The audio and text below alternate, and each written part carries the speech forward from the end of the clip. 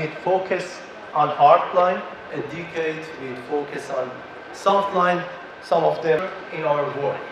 By sacrificing is not just art, yeah, it's very short. Build a history for our 24.